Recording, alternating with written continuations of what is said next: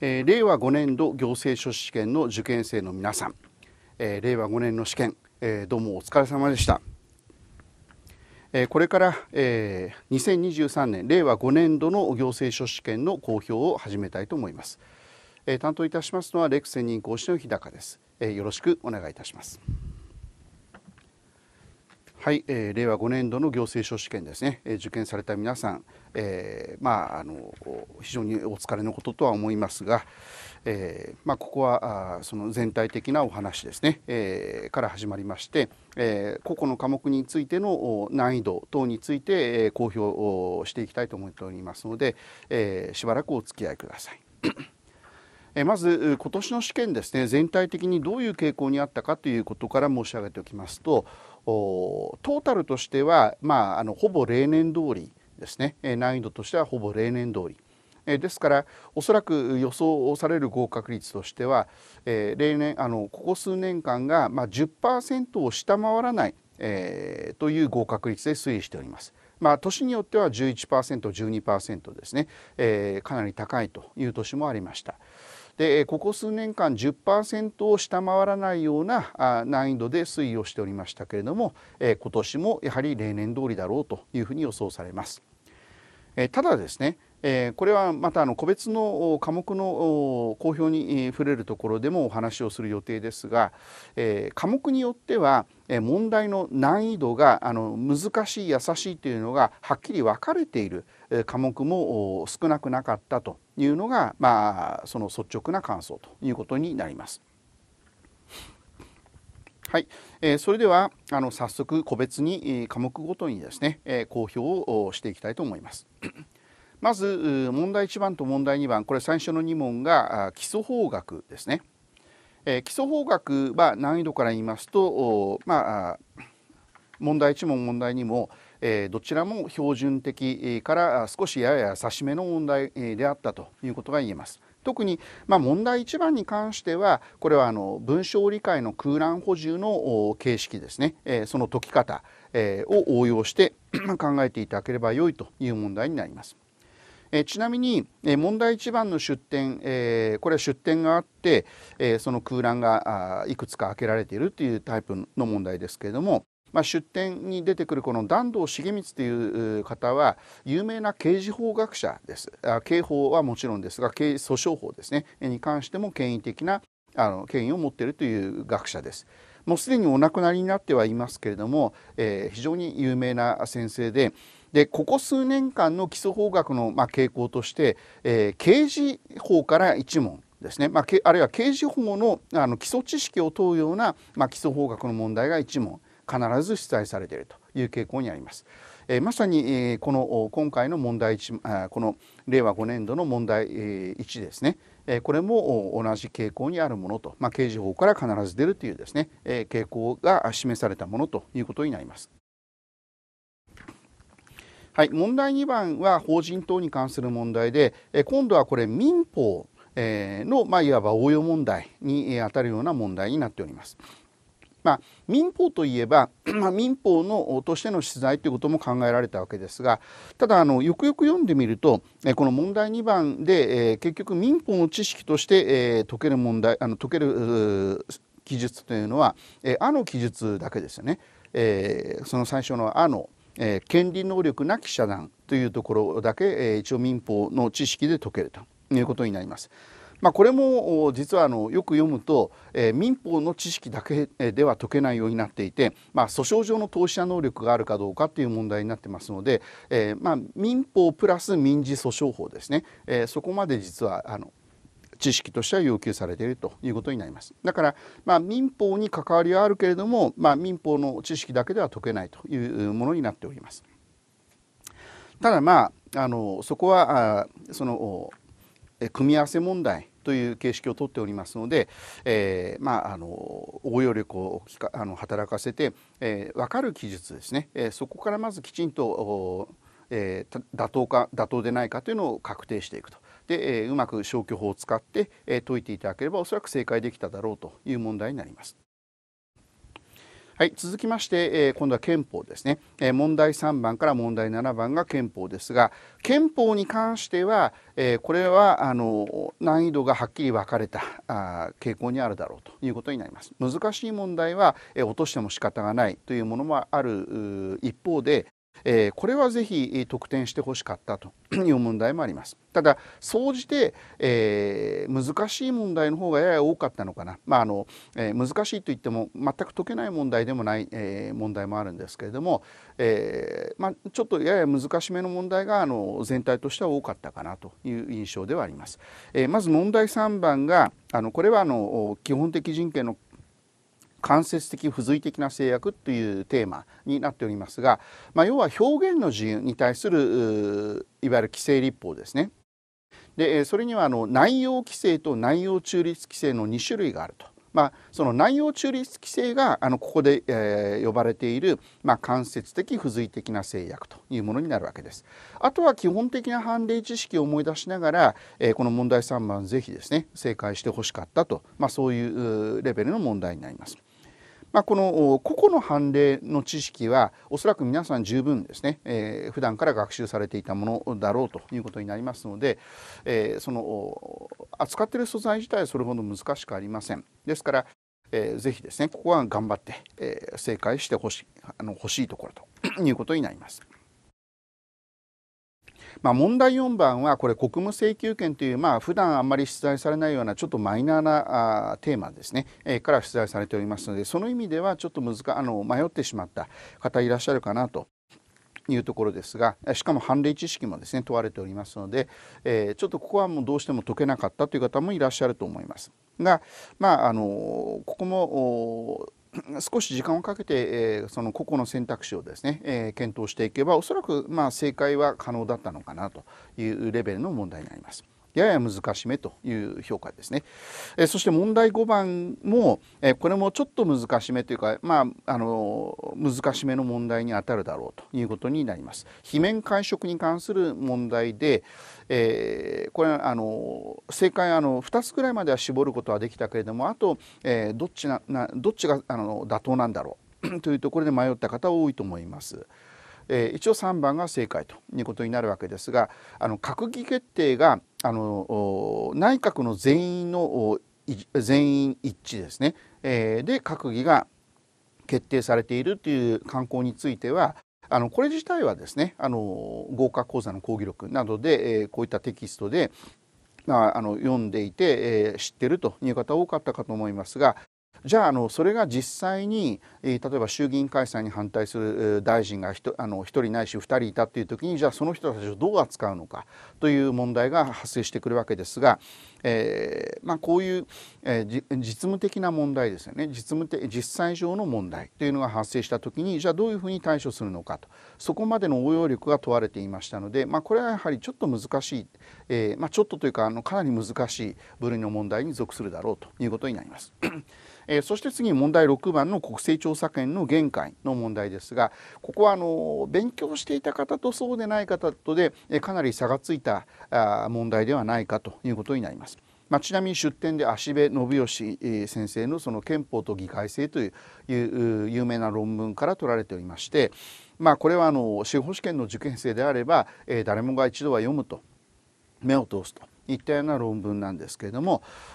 ただですね、え、それをまあじゃあ行政書試験の、まあ、試験問題として出題するのはいかがなものかということになるわけですがただまああの前の問題と比べるとまだ解きやすいということになります。問題5と比べると一応文章理解ですねの用紙把握え、と同じような要領で考えることができるという意味では、え、まだ比較的、え、解きやすい問題であろうということになります。まあ、普通レベルですね。あの標準レベルということになります。え問題7番も、まあ、これもちょっとあの標準からやや優しめというレベルの問題ですがただあの単純な条文知識だけを聞いてるわけではなく、えー、むしろその条文に、えー、関連する解釈論ですね。例えば予算の、え修正権の限界に関する議論、えこういったものを正確に覚えてますか？あの知ってますか？っていうことが問われていたというものです。これもだからあの憲法をどこまで深く学習できていたかというところで、えー、差がついた問題ではないかということになります。まあ、そうあのこの辺りですねあの まあ、問題6番問題7番、えー、これらはいずれも、まあ、合否を分けるレベルの問題だろうということになります。解けた方は、えー、合格により近づいていくとそういうレベルの問題です。解けなかった方は、えー、まあ、ただあの両方落とすっていうのはやはり望ましくないわけですね。どちらか一方は正解してほしいと、まあ、そういう問題にあたるということになります。はい。まあ、憲法は総じて、えー、まあ難しめの問題がやや多かったと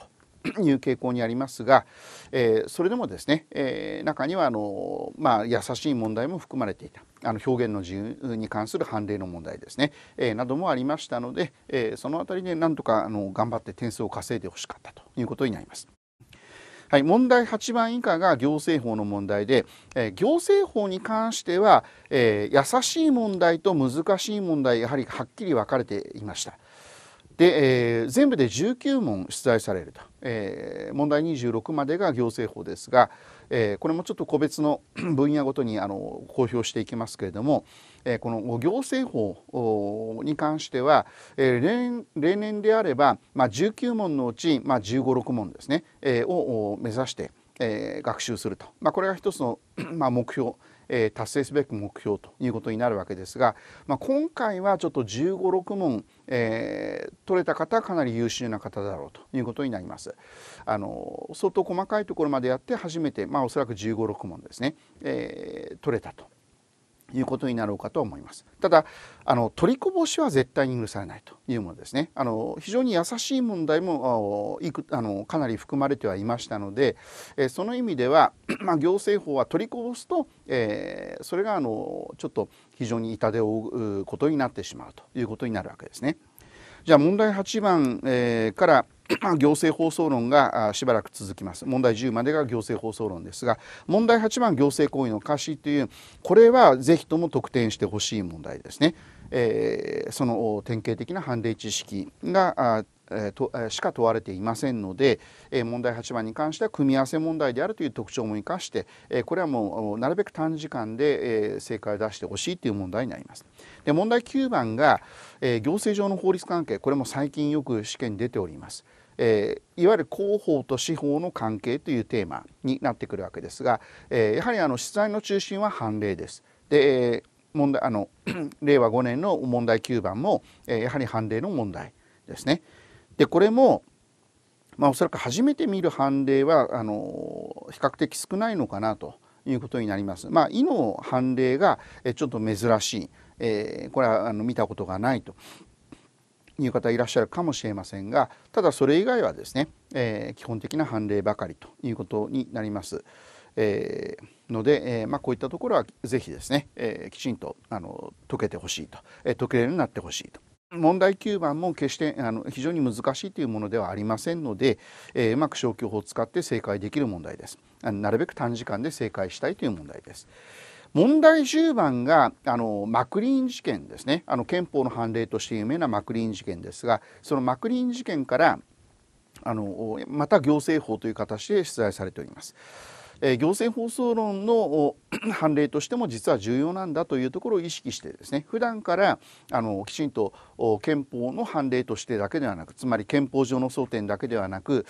行政法上の争点まあ、あのマクリン事件における行政法上の争点というのは主に、えー、いわゆる行政裁量ですよね、えー、つまり、えー、行政裁量のその裁量権の逸脱案用を判断するにあたって、えー、どのようなあその判断基準ですね、えー、マクリーン事件ではいわゆるあの実態、審査あ、まあ、社会関連審査とも言いますけれども実態審査あるいは社会関連審査を使っておりますので、まあ、この知識をきちんと身につけておけば例えば「い」の記述が妥当だということはすぐ分かります。いが まさにあの、えー、実態審査社会関連審査に関する判断基準を端的にまとめている部分になりますので「えー、」が妥当であるというのはすぐ分かるわけですね。まあ、このようにえー、普段からあのそのマクリン事件という判例を、憲法の判例、としてではだけではなく憲法の争点としては その外国人の基本的人権の共有という争点があるわけですがそれその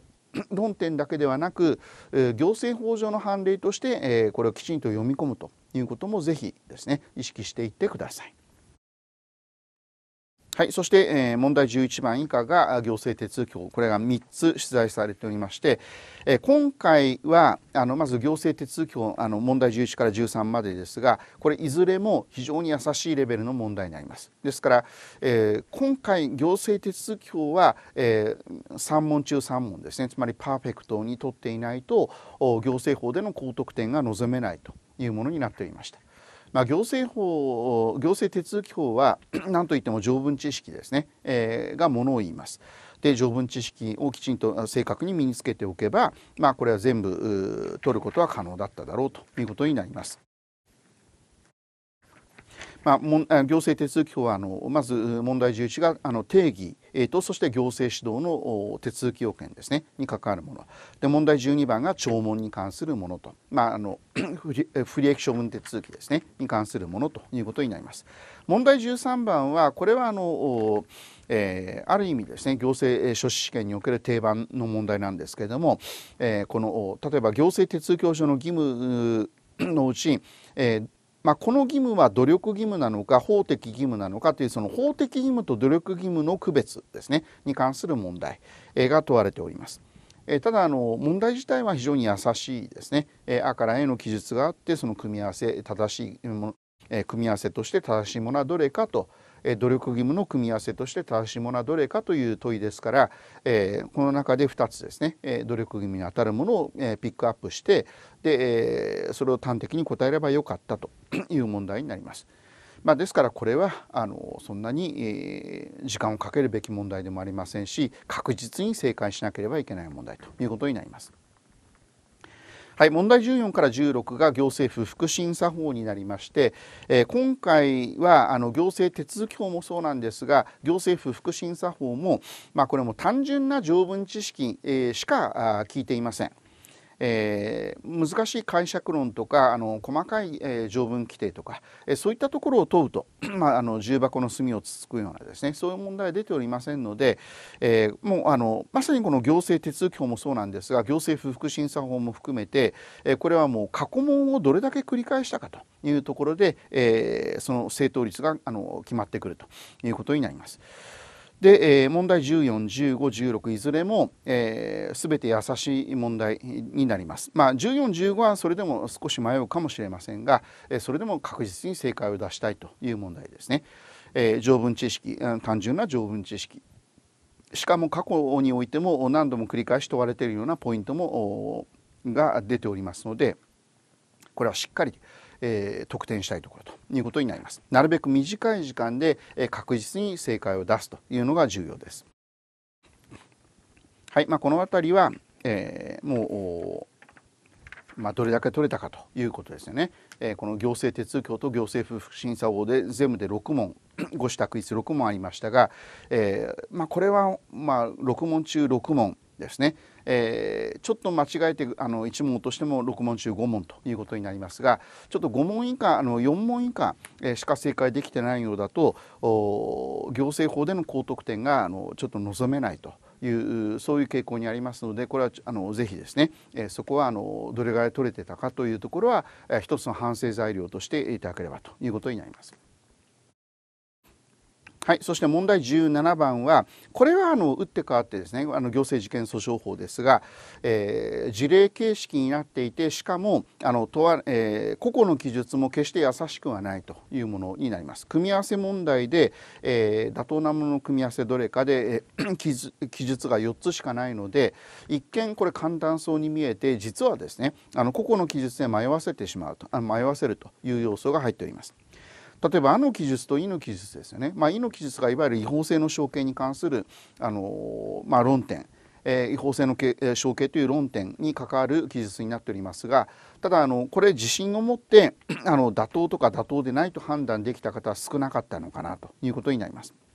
まあ、ですからあのこの機会にというとはまあちょっと語弊があるかもしれませんがあの、まあ、こういう問題も出るんだとこういうところも問われてるんだと、えー、いうところをちょっと意識しておいていただければということになりますがこれはもう間違えても仕方ないというレベルの問題です。組み合わせ問題ということを考慮してもちょっと難しいというかまあ難しい問題に属するだろうということになります。はい、問題18番ですがこれはあのもう準用規定に関する問題というのは今回あの、えー、学生 A と学生 B の会話形式、えー、になってますけれども今までもあの準用規定順用があるのかないのかという観点からの問題は、え何度も繰り返し取材されておりますので、まあ、その意味においてもこの問題も過去問のあの検討ですね過去問をきちんと繰り返し検討できていたかどうかが、え大きくものを言ったということになります。あの過去問というのはそのままそっくり出るわけではありません。こういうふうにあの形を変えて出題されることもあるわけですが結局はですね、えー、無効確認訴訟に、えー、例えばあの出訴期間順用されていない、まあ、これは当たり前なんですけれどもじゃあ、えー、この 行政事件訴訟法25条執行停止。これはどうかというところですよね。で、えー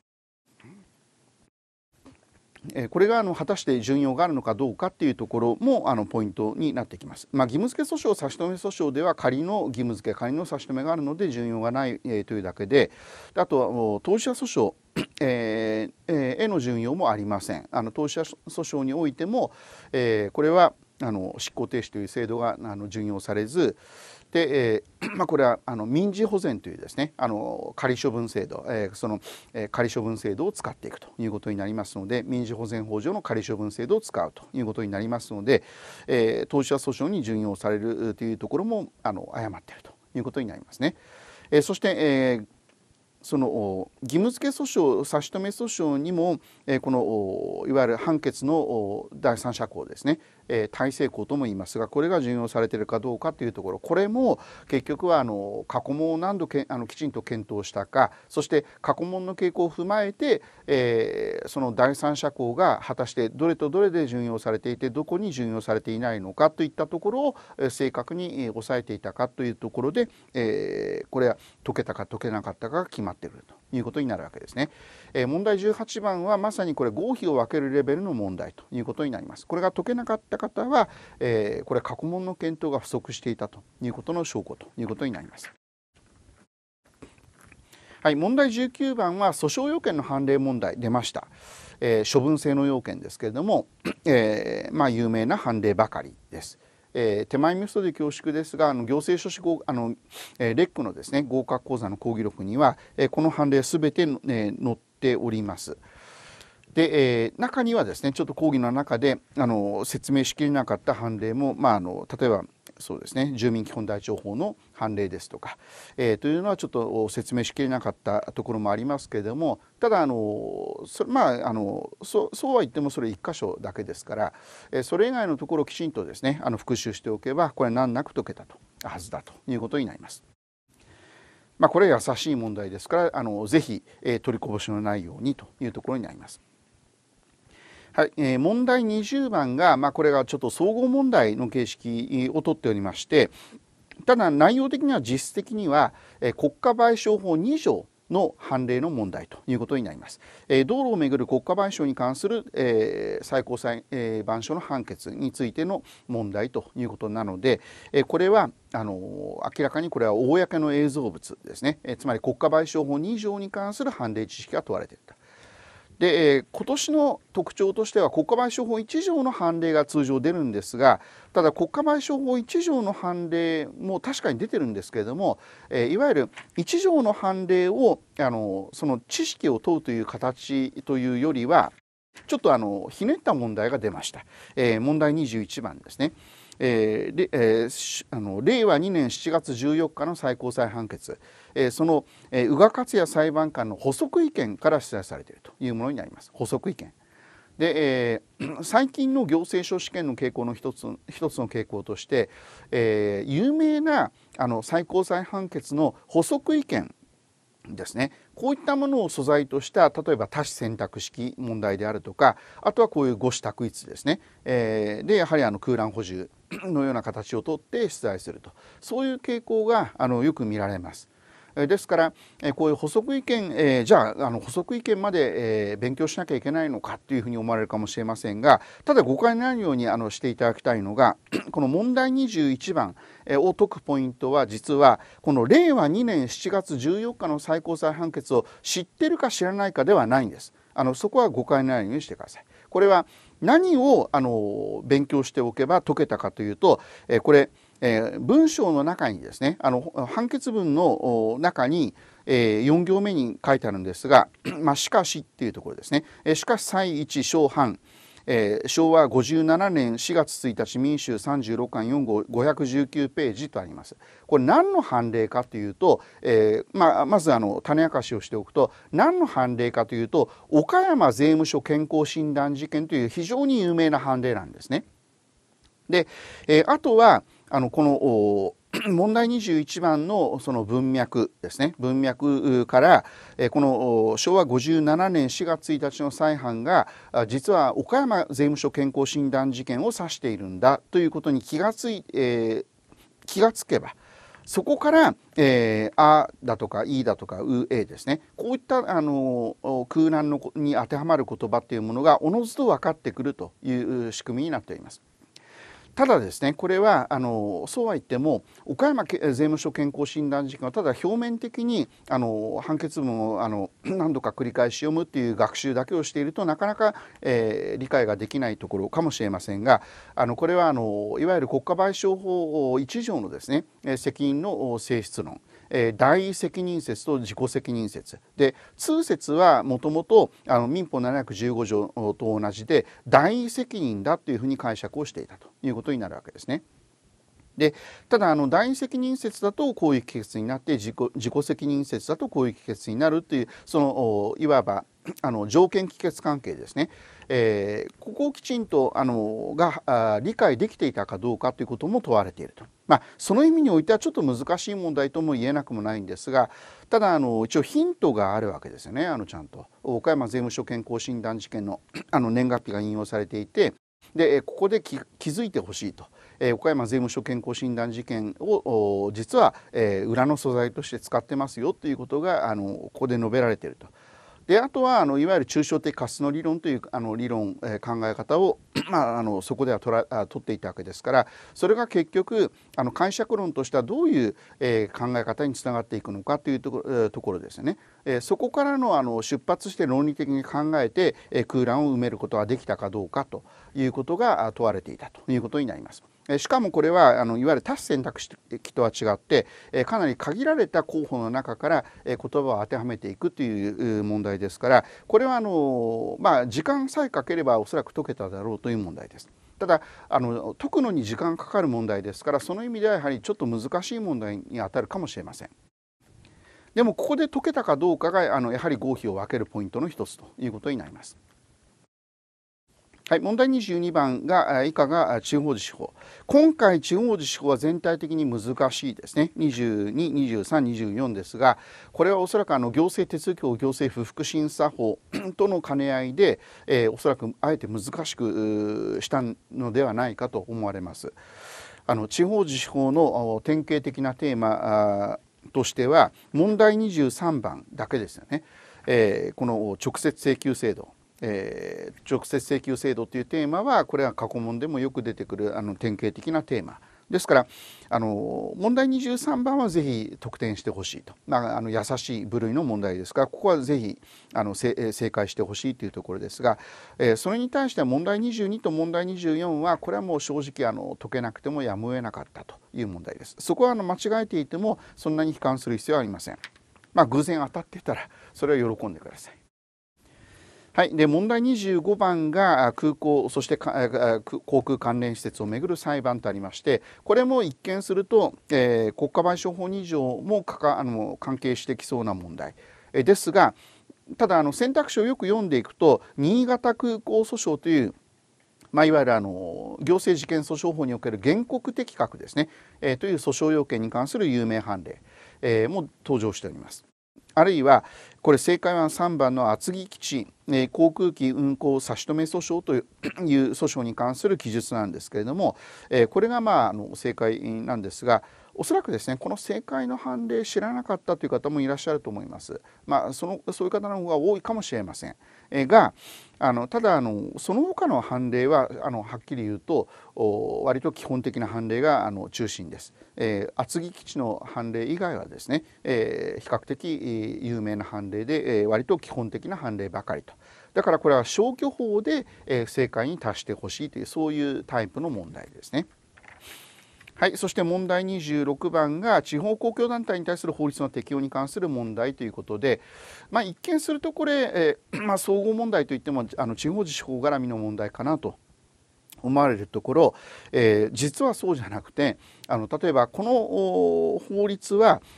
えー、例えばあの地方公共団体の機関がする処分に適用があるかどうかとかですね、え、そういったようなことが問われている問題ということになります。で、えー、1番とか2番というのはあこれはあの普段ですね行政手続きを行政不服審査法というの皆さんしっかり勉強されていると思いますので、えー、そこはもう皆さんすぐ判断できただろうと。でも、えー、4番の行政代執行に関しても行政代執行法に関してもこれもあの普段からの行政放送論の中で行政代執行法ですねこれをきちんと学習して、えー、いる限りにおいては、えー、もちろんこれは正解できたはずということになります。問題は3番と5番なんですなんですよね。えー、この公文書管理法にしても行政機関情報公開法にしてしてもいずれも今までは行政書士試験で行政法という枠組みではあの、まあ、ほとんど出題されてこなかった問題とあの法律ということになります。まあ、考えてみるとこの公文書管理法も行政機関情報公開法もいずれも、えー、個別行政法規であるわけですね。ただあの行政書試験ではあのこれも試験案内にも書いてある通り、えー、出題するそのいわゆる個別行政法規としては行政手続法行政不服審査法そして行政事件訴訟法に、えー、国家賠償法ですね、えー、あと地方自治法、えー、これらの個別行政法規から出しますと。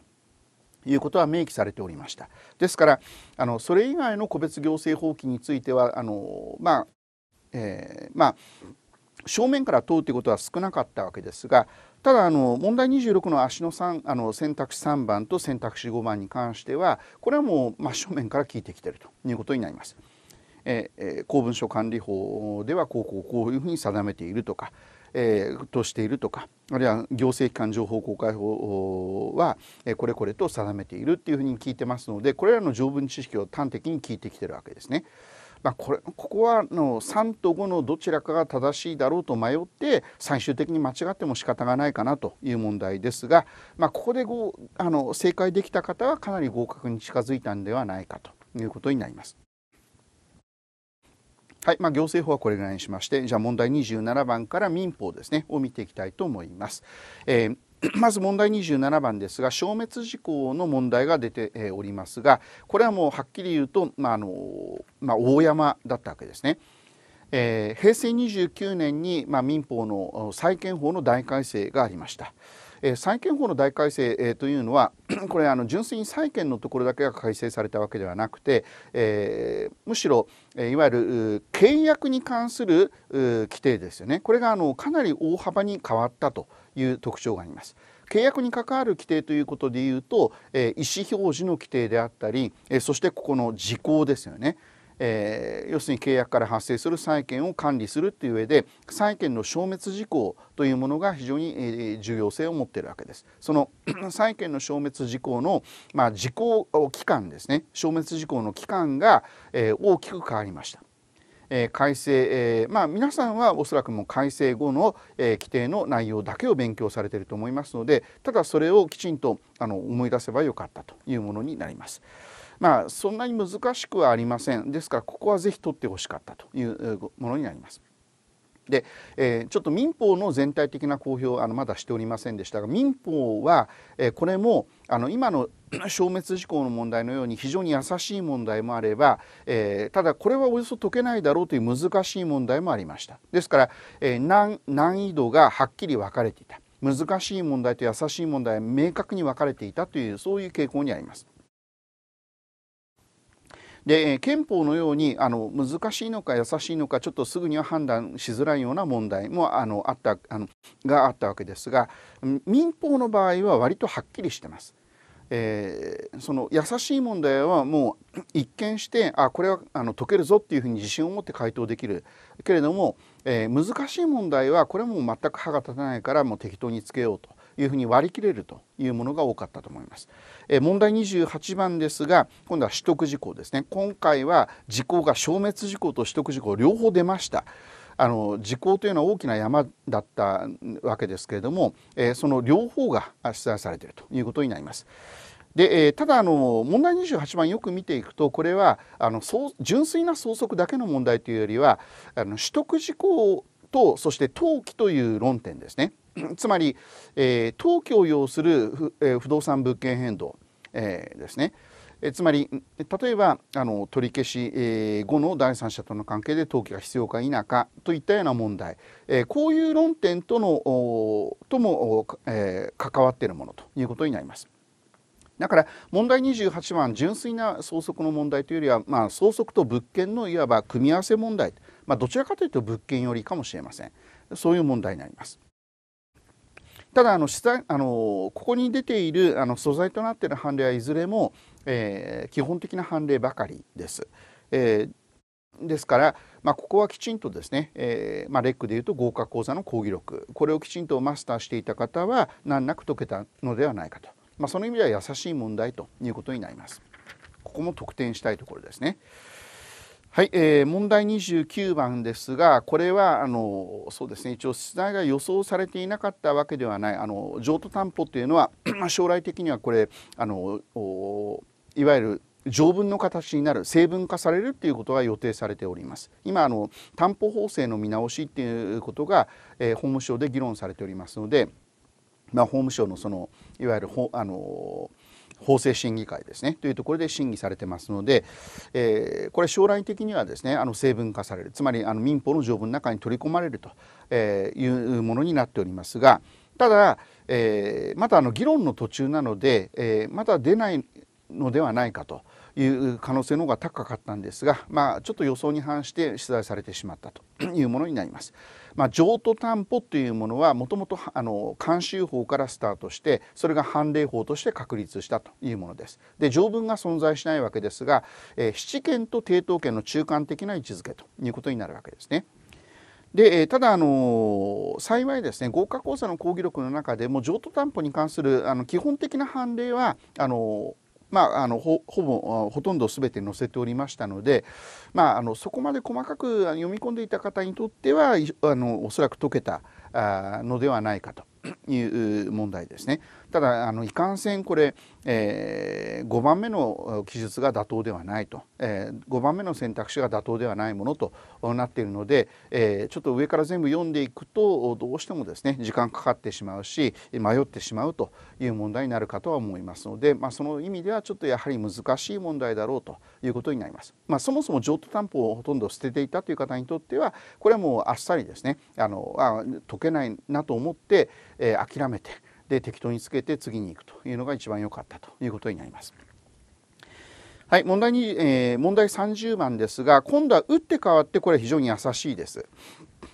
まあ、この連帯債務ですね多数投資者間の債務が何らかの形で出るかなとで、えー、私は個人的には保証 あの保証が出ると予想していたんですが、まあ、保証ではなく連帯債務の方が出ました。で、えただ連帯債務が出たといってもこれは相対的効力と絶対的効力に関する基礎知識ですねが問われたものということになります。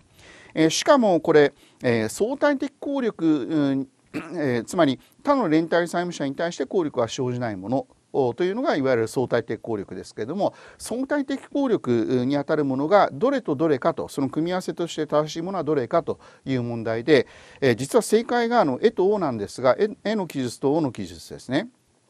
であの「え」と「お」はいずれも昔かつては、えー、絶対的効力自由とされていたものです。でそれが平成29年の債権法の大改正によって、えー、いずれも相対的効力自由に、え、変わったものということになるので、えー、これはまさに改正点を正面から問う問題ということになるんですね。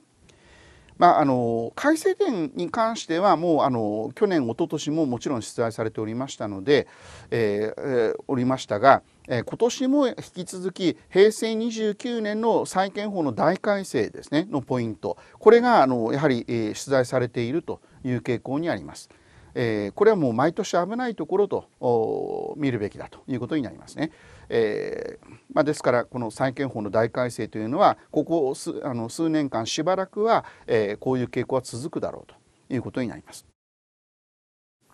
ただいずれにしてもこの問題30番非常に優しいのでこれはぜひ得点してほしい正解してほしい問題ということになります。え問題31番総裁の問題ですけれどもこれも、えー、簡単です。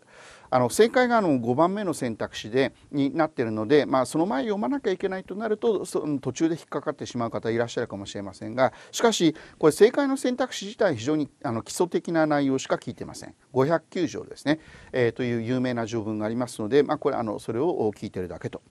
その意味では問題31もぜひ正解してほしい問題ということになります。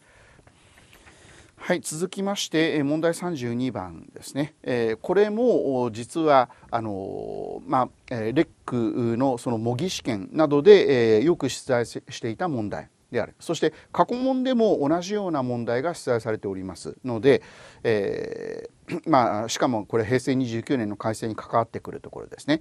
えー、受領地帯中の不可抗力による、えー、その特定物の、えー、滅失などのケースですね。で例えば特定物売買をした後に、えー、締結した後に、えー、例えば受領地帯中に一旦そのその引き渡し債務者が持ち帰ったでその時に地震が起きたりあの火事が起きたりして、えー、燃えてなくなってしまったなんていうケースですよね。でこういう 受領主体中の不可抗力による滅失の場合におけるその他方その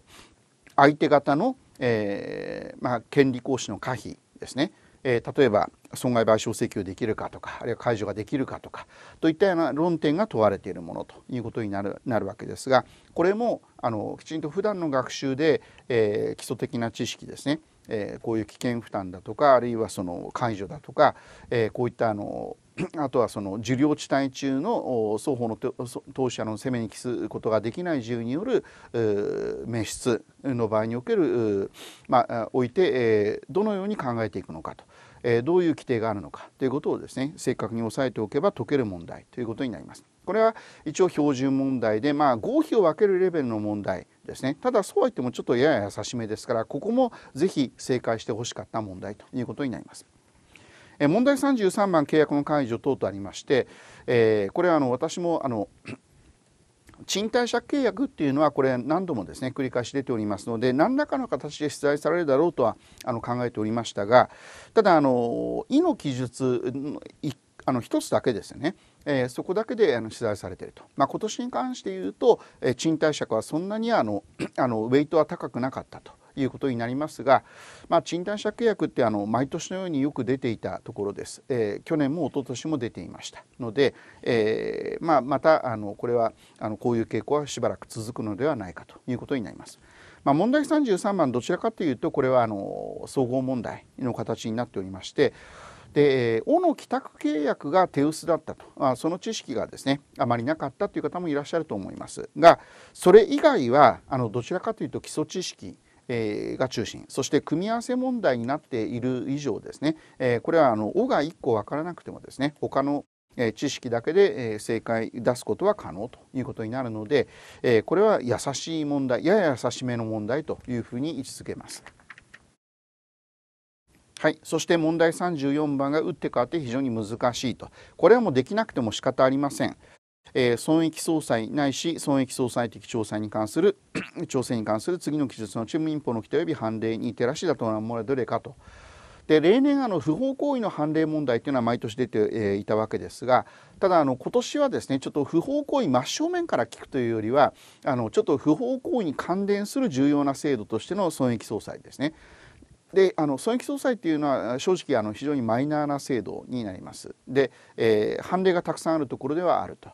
例えば生命保険金の契約をしていた時に、えー、まあその例えばある人がその契約者が死亡したと。じゃあその時に、えー、生命保険金、えー、を受領するわけですけれどもあの 被保険者がですね、えー、受領するわけですがそれは果たして、えー、損益相殺に対象になるのかならないのかなどということがあここではあ問題となっているということになります。まあ、これはできなくても仕方がないという問題で、まあ、できていたら喜んでください。はい、問題35番がこれは大方の予想に反して3年連続で、えー、相続分野からの出題ということになります。えー、遺言ですけれども遺言ですね。ですが、まあ、これはちょっとあのさすがにですねえーまあ、今までの行政書試験の傾向としては、えー、ある年に相続の分野から出した場合には次の年は親族分野から出すというのが、まあ、暗黙のルールだったんです。えところがあの去年一昨年とですね2年連続で、まあ、あの相続の分野から出題されていて、えー、そして、えー、また3年連続で相続っていうことはやはりですねなかなかあの考えにくいことであったわけです。ですからちょっと遺言から出題というところは、えー、まあ、これなかなかですね、え想像が及ばなかった、え人が多かったのではないかと。え今年はさすがに親族が出るんじゃないかとあの令和5年はさすがに親族が出るのではないかと予想されていたわけですがこれでいよいよですね令和6年の出題、え予想が、えとして、え親族の出題があるということがはっきり分かったということにもなります。はい、えー、問題36番から問題40番が商法感謝法ですが、えー、商法感謝法全体的には商法は優しい。えでここで得点してほしいと。で会社法は全体的に難しめです。全問あの会社法全滅だとしてもまあ仕方がないという問題ですね。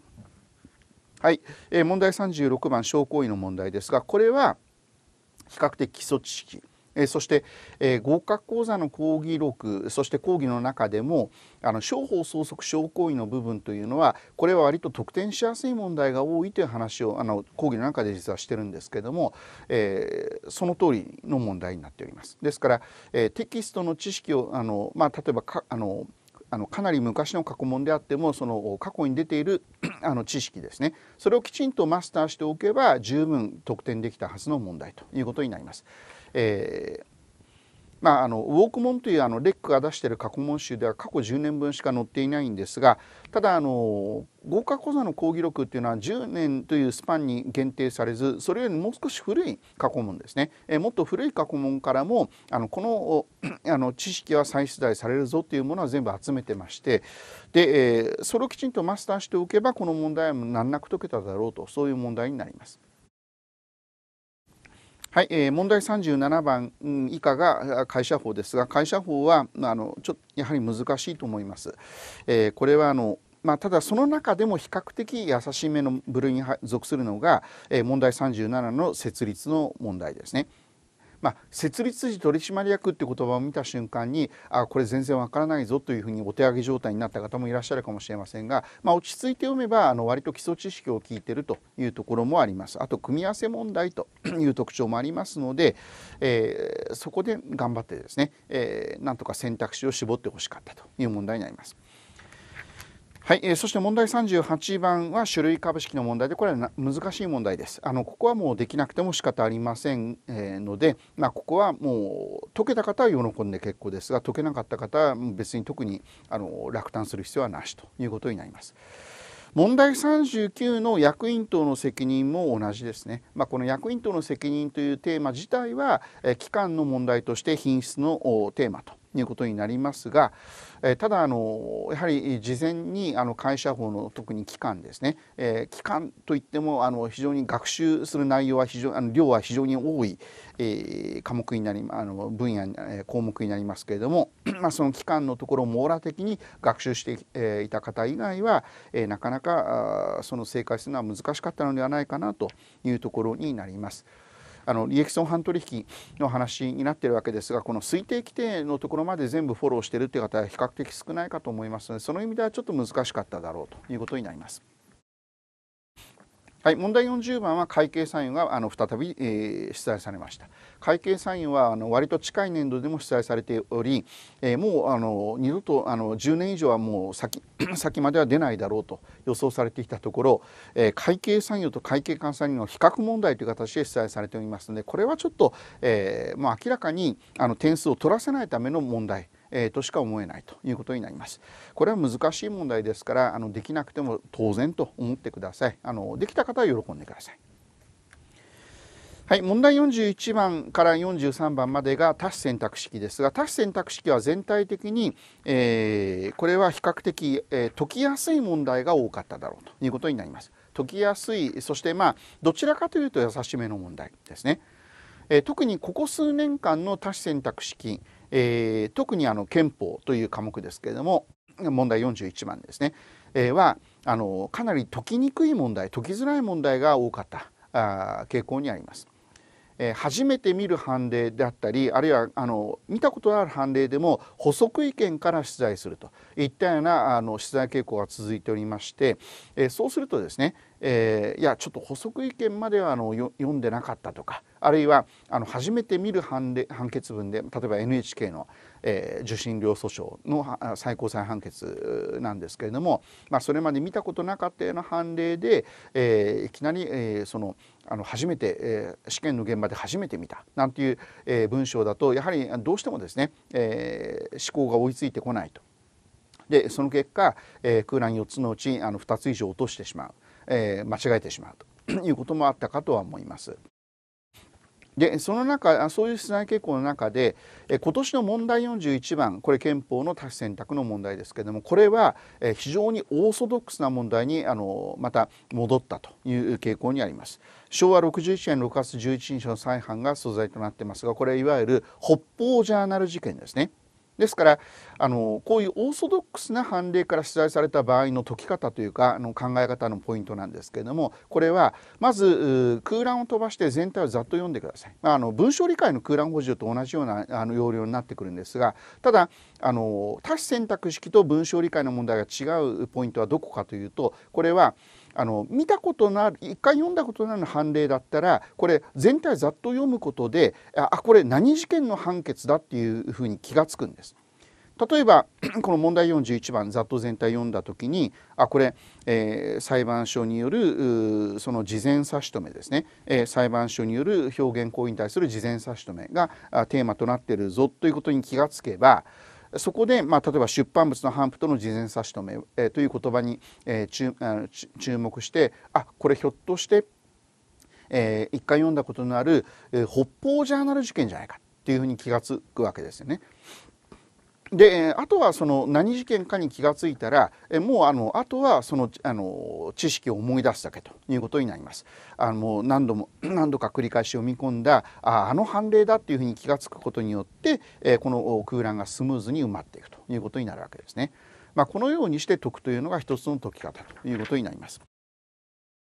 はい、えー、同じように問題42番ですがこれもあのまあレックの合格補佐の講義録ではここまであの長文での、えー、判決文の引用はしてなかったかもしれませんがただ少なくともですね、えー、ポイントになる部分というのはあの引用されていると。これはあの公営住宅、まあ、都営住宅無断増築悪渡し請求訴訟という有名な判例です昭和59年12月13日ですがこれは都営住宅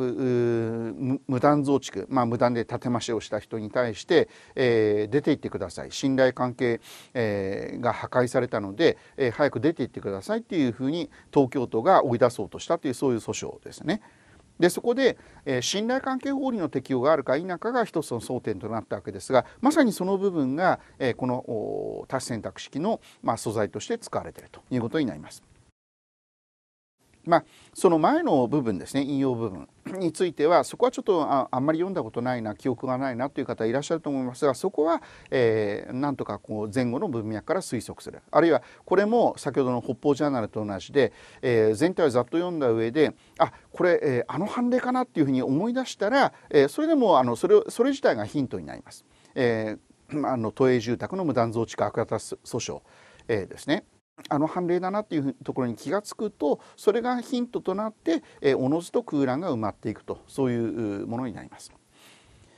はい、そして問題43番は今度は あの試験員が、えー、その独自に作ったオリジナルの文章ですねその空欄を4つ開けたものですが、まあ、文章自体は非常に短いということとそして問われている内容は基礎的ないわゆるあの訴訟類型に関する知識ですね。えちなみに訴訟類型というものはあの毎年何らかの形で出題されます。あの誤詞択一だったり多種選択だったり、まあ、今年は多種選択ですねであるいは記述問題でも問われるで記述問題ではあの今年は、え、多種選択式だけではなく記述問題でもまさにこの訴訟類型、えー、が問われているということになります。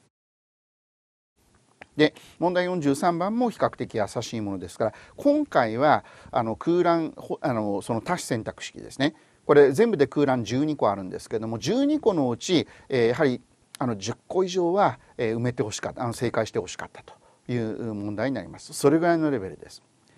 あのここ数年間はあの多種選択式やや難しめの問題があの多かったという傾向にあるので、えー、まああのやはり、えー、空欄あの多種選択式で、えー、失点してしまうという方も少なくなかったわけです。で、えー、ただその中でもですねやはり合格されている方のそのあの政党あのそのいわゆる回答傾向を見ていくとやはりあの多種選択式はそうは言ってもやはりかなり高得点を取ってるんですねそういう方がやはりあの実際合格されてます。で、えー、それに対あのそそれを考えていくと今回の問題この令和5年の問題に関して言うと多種選択式は是非ですねあの、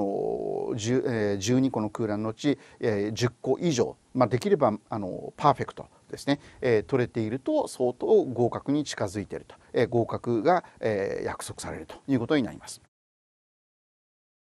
はい、えー、問題44から46が記述問題で、えー、ということになります。問題44番は行政法ですが先ほども少しお話をした通りこれはあの差し止め訴訟ですね、えー、がいよいよあの記述で問われたということになります。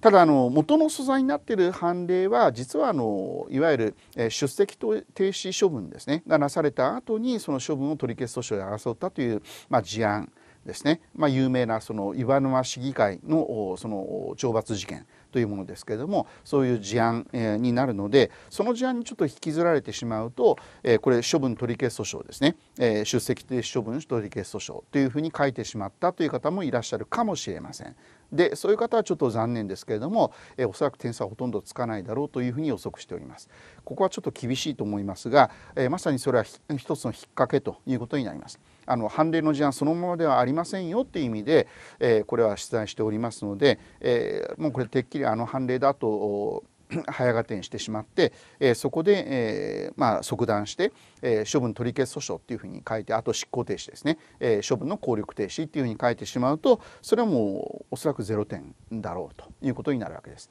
ただまあ正直ですねこれあの記述問題というのは相対評価という側面がありますので、え皆さんほとんど書けてなかったら、え場合によっては処分取り消し訴訟プラスその、え執行停止でも部分点ですね、まあ、2点か4点ぐらいかもしれませんが、えつく可能性ある。あと被告的確を間違えないというのは鉄則です。被告的確はきちんとですね書けるようにしておきましょう。はいそして問題45番ですがこれは あの実はですね非常にあのこれ私としては懐かしい問題になります。というのがあの40字記述っていうものが初めて課された年が2006年平成18年になります。ですからもうあのすでに15年以上経っていると。いうことになるわけですがそのその時もあのその時点でも私は実はあのレックであの教えておりまして、えー、その平成18年2006年のあの記念すべき第1号ですね最一番最初の出題が、えー、まさにあの民法では民法のこの物件の分野では、えー、仏上代員だったわけです。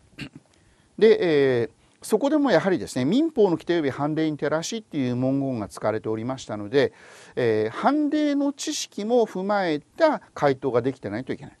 でここで判例どこで使ってるかあのどういうふうに使うかというとこれは抵当権者自身が自ら差し押さえをするっていうところこれが実は判例なんですね。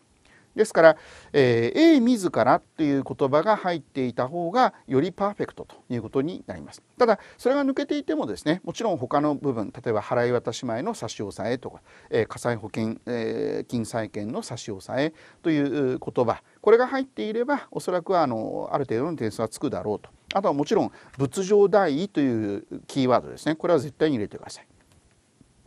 どのような法的手段によって何をしなければならないかとあるわけですから仏上代権の行使としての差し押さあの債権の差し押さえですねこれがやはり必須ということになります。でその差し押さえのタイミングは払い渡し前の、えー、差し押さえでしかも抵当権者自身による差し押さえですねこれがあの判例の見解ということになります。まあ、いずれにしてもこれはあのもう古い問題古い記述問題の焼き直しです。まあ、その意味ではですねやはり過去問というのはかなり遡って、えー、検討した方が良いとこれまさにこれ過去問とあのほぼ同じ問題あのちょっと若干少し条件変えてるところもあるんですがでもほとんど同じ問題です。えー、その意味においては、えー、過去問の検討は決して無駄ではないしあの繰り返していることもあるということははっきり分かったということになります。はい、そして問題46番はこれも大山ですいよいよ出たというところですけれども、えー、契約不適合責任ですね。えただしいわゆるあの売買の契約不適合責任ではなくて、えー、請負契約における契約不適合責任、えー、が出題されたということになります。でそこでまああの、えー、これは権利行使ができる根拠としてはもちろん契約不適合責任という言葉をきちんと書く必要があるわけですね。そこにまず配点があります。えそしてこれに基づいてと、えこれをのつその責任の追及として、え収保請求以外の3つですから、えいわゆる報酬減額請求とそして、え損害賠償請求と解除この3つをあの書けばよいという問題ですね。そんなに難しくはないあの事前にきちんと準備していれば難しくない問題ということになります。契約不適合責任は大山中の大山だったわけですから、まあ、記述に出てもおかしくない。えちなみにあの昨年度は、え択一で出ておりましたので今年は記述かなといわそのどの予備校もおそらく予想していたと思いますので、えこれはもうかけて当たり前という問題になると思います。総じてあの記述は割と解きやすい問題多かったのではないかとただし行政法で引っかかった方はいらっしゃるだろうというところが注意点ですね。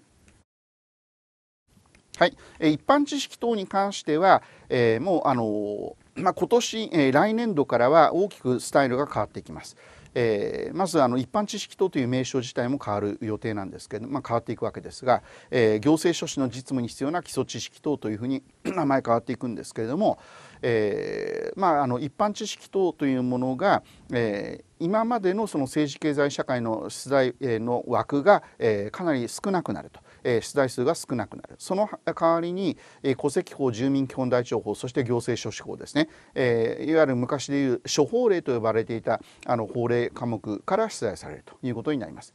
だからあのどちらかというとあのもう法令中心の試験に、えどんどんシフトしていくということになるわけですね。えもちろん個人情報保護法などはあの従前通りですね残りますあと文章理解も残る予定だと言われていますので、え結局は政治経済社会という、まあ、ちょっとあの高校生が勉強する、まあ、あの昔でいうセンター試験対策として勉強するような政治経済社会が減っていくと。で、え減った分が、え今度はあの昔でいう処方例と呼ばれていた法令科目が追加されるとそういうふうに変わっていくんだということになります。で、えー、まあ、ちょっと全体的なお話、えー、をしておきますと一般知識等に関してはあの政治経済社会があの解けるようで解けないっていう問題が多かったのかなというのが率直な印象です。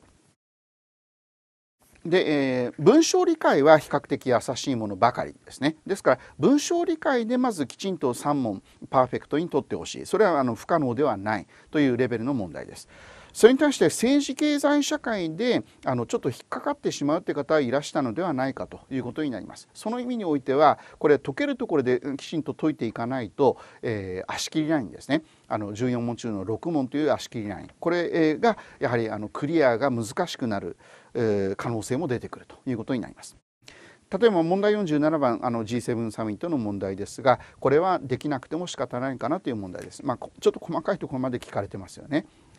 えー、そして、え、問題48番テロテロ対策ですがこれもちょっと全くノーマークだったという方はあの、まあ、解けなかったという方もいらっしゃると思います。え、問題49番の1960年代以降の東南アジアということで、えーまあ、あの現代史的なあの国際政治史ですね、えー、的な、まあ、取材ということになりますが、まあ、これも事前に勉強をきちんとやってる方にとっては解けた問題かもしれませんがあのちょっとノーマークだった方にとってはここはあの失点した可能性もあるということになります。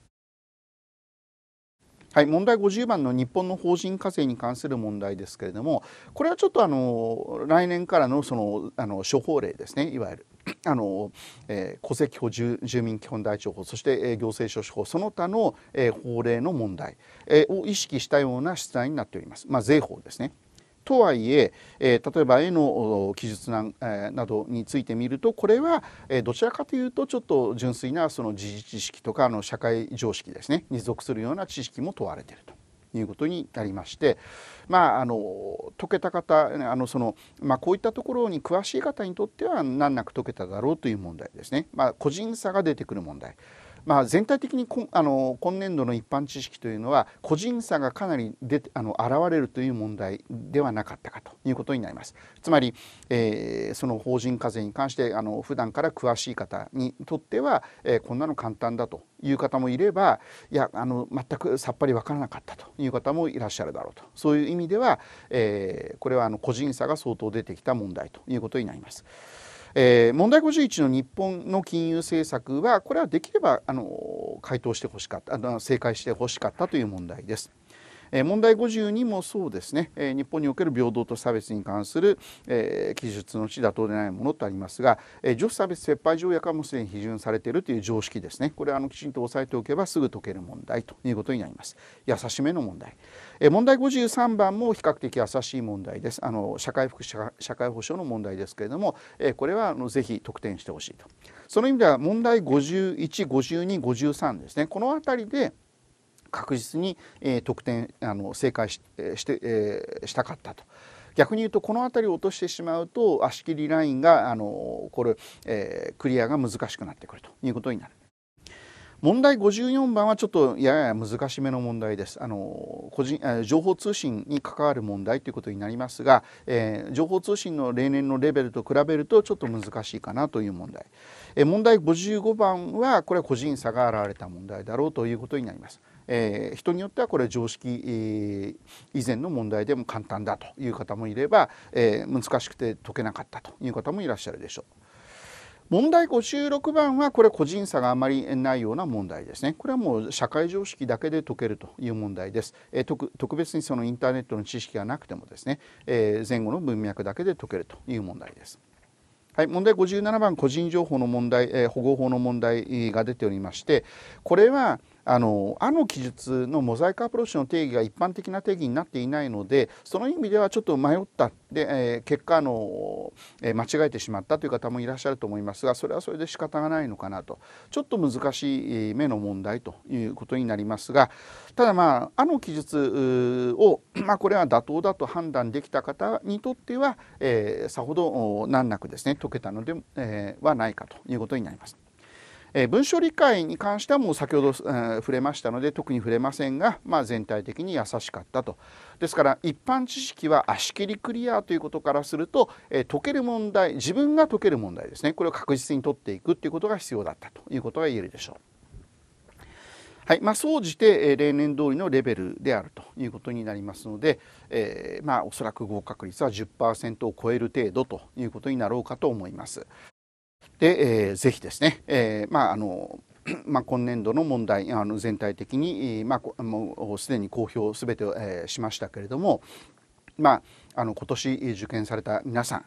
えーまあ、まずはですねちょっと疲れを癒していただいて、えー、少しお休みしていただいて、えー、またあのその自己採点をしてですね、えその結果次第で、え例えばまたあの受験勉強を始めるかどうかというのを決めていただければということになります。もちろん、えもう自己採点をして、えあとは記述次第だけど、まあ、ほぼ合格間違いないという方もいらっしゃると思いますのでその方はもうあの次のステップですね。例えば登録するのか、え合格したら登録するかどうかとか。あるいは登録しないんだったらじゃああのそれをどういうふうに仕事に生かすのか。あるいは、え別の資格の勉強を始め始めるのかという次のステップを見据えて、え行動に移していただければということになります。ただそうは言ってもまあ1週間ぐらいはちょっとゆっくりですねお休みの時間も必要です。えー、ゆっくりとまずは休んでください。はい、それでは以上で令和5年度の行政書士試験の公表をおしまいとさせていただきます。えー、皆様本当にどうもお疲れ様でした。